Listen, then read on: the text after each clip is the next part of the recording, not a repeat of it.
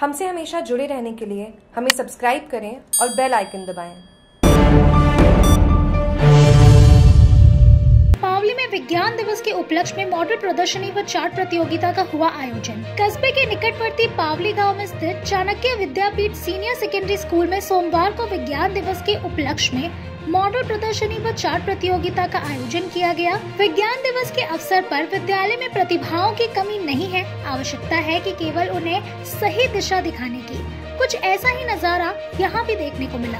इस विद्यालय में बोर्ड परीक्षा परिणाम में तो प्रति वर्ष अपना दबदबा बनाए रखा है। इसके साथ साथ विद्यालय बच्चों के सर्वांगीण विकास हेतु समय समय पर विभिन्न प्रतियोगिताओं का आयोजन भी करवाया जा रहा है, जिससे ग्रामीण क्षेत्र की प्रतिभाओं को तलाश कर व तराश कर एक सच्चे हीरे का स्वरूप दिया जा सके। विद्यार्थियों की रचनात्मकता को देखकर यदि इन्हें छोटे वैज्ञानिक भी कहे तो भी कोई अतिशयोक्ति नहीं होगी। प्रतियोगिता का निरीक्षण पावली के सरपंच करताराम चौधरी, ग्राम विकास अधिकारी सुंदरलाल एवं विद्यालय के निदेशक हरीश पटेल ने किया, जिन्होंने मॉडल से संबंधित कई प्रश्न विद्यार्थियों से किए, जिनका विद्यार्थियों ने बहुत अच्छे तरीके से जवाब भी दिए। विज्ञान प्रभारी कमलेश गिरी ने बताया कि मॉडल प्रतियोगिता में कुल 25 मॉडल व चार्ट प्रतियोगिता में कुल 41 चार्ट विद्यार्थियों द्वारा बनाए गए।